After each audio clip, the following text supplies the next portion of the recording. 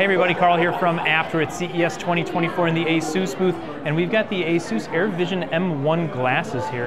And this is going to be a really great product for somebody who's working in kind of a tighter space but needs a lot of screens. You basically put these on, and when you're looking at the computer, you're going to see a number of screens here. Now, it's only, it, it's sort of limited by how powerful your computer is. So if you have a better computer, you'll be able to set up more screens on there.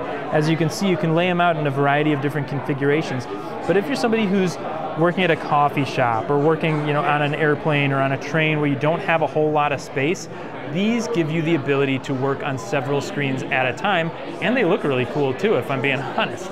So these are the Asus AirVision M1s. Make sure you check them out when they're available. They're supposed to be coming out sometime in 2024 here, so we should see these this year. We don't have a price point on them yet, but they do a really good job and picture quality is really, really nice on those. So like I said, make sure you check them out once they become available, especially if you're somebody who's kind of used to working in a, in a tighter environment.